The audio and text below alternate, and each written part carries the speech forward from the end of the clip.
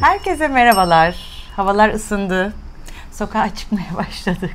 Kedilerle, köpeklerle oynuyoruz ve maalesef kuduz haberleri duymaya başladım. Onun üzerine dedim ki sevgili babam, operatör doktor Acılan Celep bir araya gelelim bize kuduzla ilgili bilgi versin.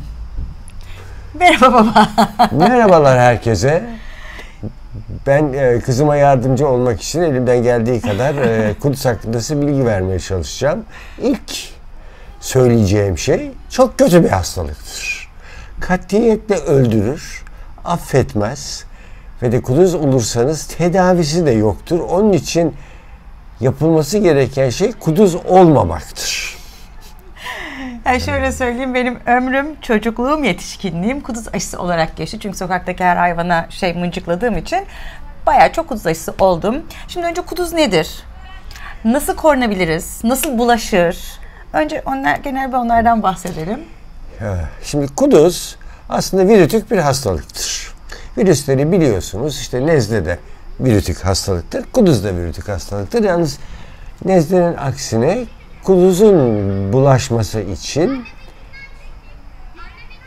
kuduz olmuş bir hayvanın salyasının sizin cildinizin altına geçmesi lazım. Yani ısırılmanız veya tırmıklanmanız lazım. Evet. Yani, yani özetle. Cilt bütünlüğünün bozulması lazım. Bunu özellikle belirtiyorum. Çünkü hani doğru bilinen yanlışlar genelde şey deniyor.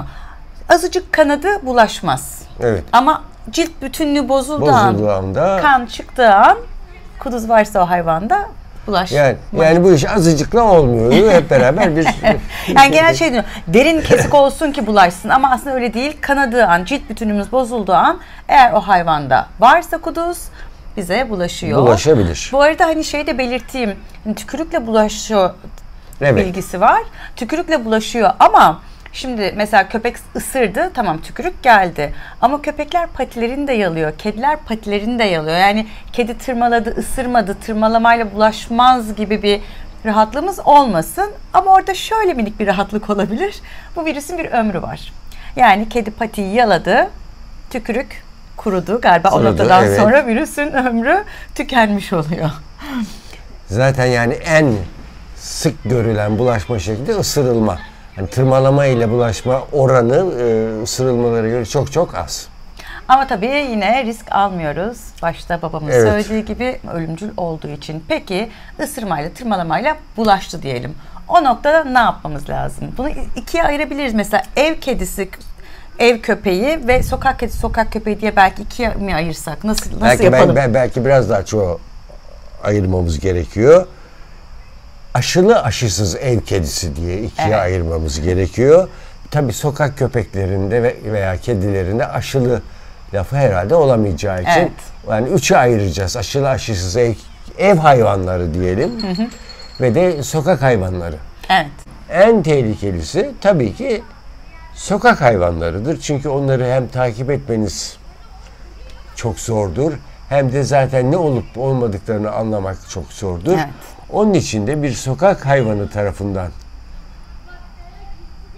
ısırılırsanız veya tırmalanırsanız işte, işte o sensin. Ee, aslında şu var bakın e, bu hayvandan tırmalanmadan evvel bu hastalığın nasıl oluştuğunu biraz anlatayım. Bu ısırıldığınız zaman bu kuduz virüsü sizin sinirleriniz boyunca ilerleyerek beyninize kadar geliyor. Beyninizdeki tahribat yaparken oradaki sinirlerle de salya bezlerinize kadar geliyor ve size bulaşabilmesi için bütün bu yolları geçip salyaya kadar gelmesi lazım. Şimdi burada tıbbi olarak kabul edilen bir 10 gün meselesi var. Tabii bu tıbbi olarak kabul edilen 10 gün meselesi daha çok ev hayvanları için geçerli. Çünkü sokak hayvanlarında bu 10 günü birazcık zor. Evet çünkü evdeki kedimizi köpeğimizi gözlemleyebiliyoruz Evet. 10 gün boyunca yanımızda. Gözlem hastalığı olup olmadığını görebiliyoruz. Bu arada hemen araya bir not girmek istiyorum. Mesela benim Lolitam, Lola evden asla çıkmıyor. Yani onun kuduza maruz kalma ihtimali sıfır. Çünkü hiçbir hayvanla bir araya gelmediği için hiçbir kuduz hayvanında onu ısırma veya tırmama şansı yok. Yani orada hani aman kedim kudurur mu kaygısı yaşamamamız lazım. Eğer hiçbir şekilde sokağa çıkmıyorsa. Onu da hemen söyleyeyim. Evet. Ve de bu virüsün yani sinirler boyunca e, ilerleme hızı aşağı yukarı günde işte ortalama bir iki santim gibi. Yani beynine geldikten sonra daha daha doğrusu beynine gelmeden evvel sizi ısırırsa ve de bu 10 günlük süre içinde kalırsa yani hayvan hasta olsa bile size bu hastalığı bulaştırmayacaktır. Ha. Ama sokak hayvanlarında bu 10 günlük süre çok iyi takip edilemeyeceği için sokak hayvanı tarafından bir ısırılma veya tırmalanma olduğu zaman gerekli tedavinin e, beklemeden yapılmasında, hızlıca, evet. hızlıca yapılmasında fayda var ki bu da artık önce bir immünoglobulin yapılıyor. Ondan sonra işte 0, 3, 7, 14, 28. günlerde bir aşı oluyorsunuz. Şimdi bu kadar çok aşı niye ederseniz ben size daha kötü günleri de söyleyeyim. Eskiden 20 bilmem kaç kaşı her gün yapılıyordu. Bir de göbekten. Benim göbekten, göbekten olmuşluğum da var. Bayağı evet. acıtıyor. Bayağı acıtan bir iğne. Evet. Tabii aşılı e, hayvandan bahsederken aşılı hayvan ve aşılı insandan da bahsetmek lazım. Çünkü bazı meslek grupları devamlı bir işte veteriner gibi, veteriner yardım, hekim yardımcıları gibi çalışanlar her zaman bir virüs tehlikesiyle karşı karşıya oldukları için onların da aşılı olmalarında fayda Aynen, var. Ama evet.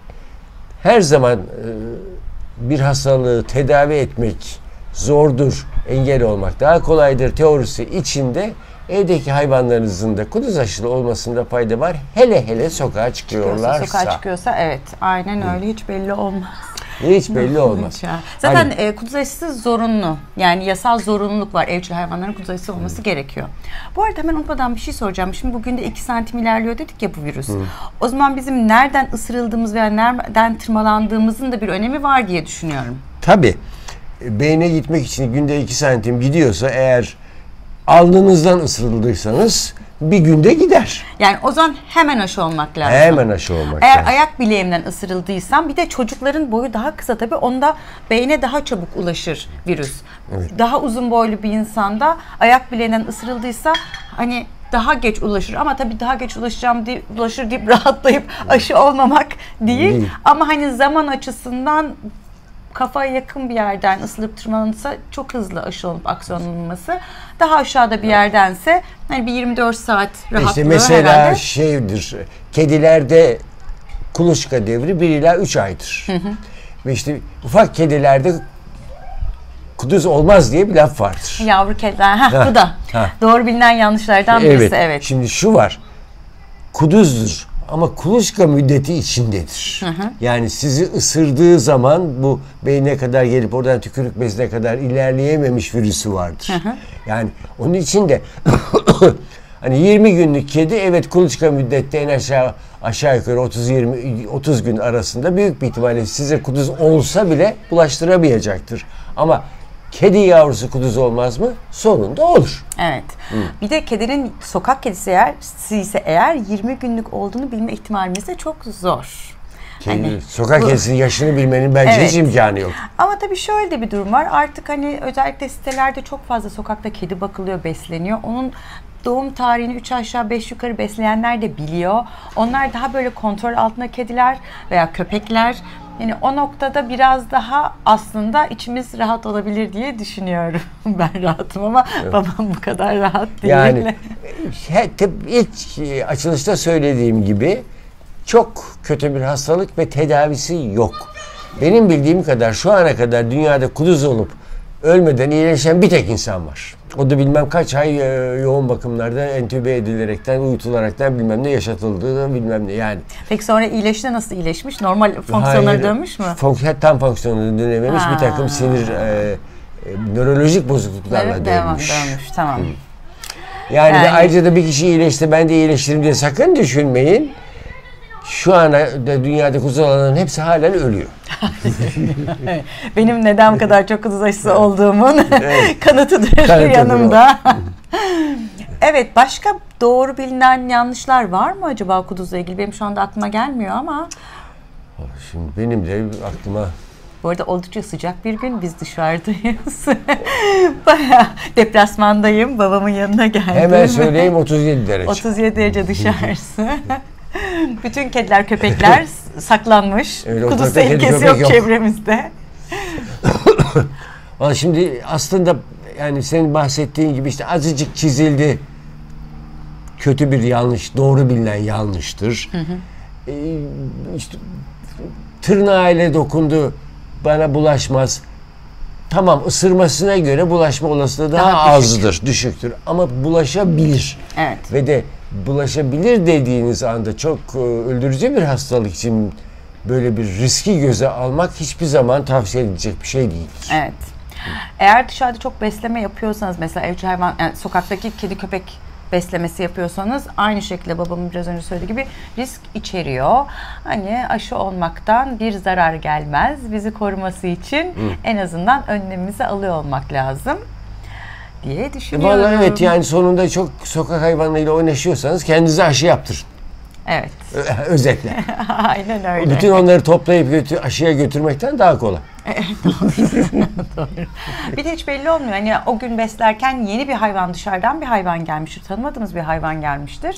Yine onda da olabilir. Bu arada kuduz bir ara çok azalmıştı. Bayağı kontrol altına alınmıştı ama şu aralar yeniden duymaya başladım. Maalesef o eski kontrollü zamanlarının sanki biraz dışına çıktık. Biraz sayılarda hafif bir artış var gibi maalesef.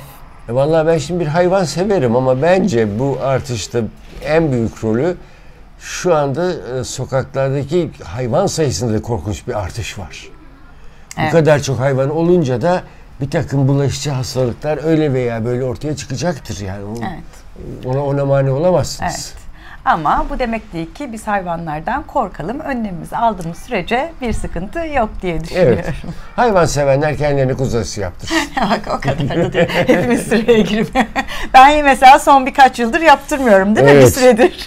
bir süredir aşısızım. Tabii bunda Lola'nın da payı var. Lola'nın sağlık sorunu olduğu için artık dışarıdaki hayvanlara çok haşır neşir olamıyorum. Lola'ya bir şey taşırım korkusuyla. O yüzden ben de biraz artık kuduzdan sanki kurtulmuş gibiyim. E son, son bir, bir e, süpermarkete bir kere sana pati atmıştı ben hatırlıyorum. Evet, böylece kuduz konusunun sonuna geldik diye düşünüyorum. Babama çok çok teşekkür ederim. Ben herkese teşekkür ederim. Herkese iyi kuduzsuz ve iyi günler dilerim. Herkese sağlıklı, mutlu, güzel günler dilerim. Görüşmek üzere. Bay bay.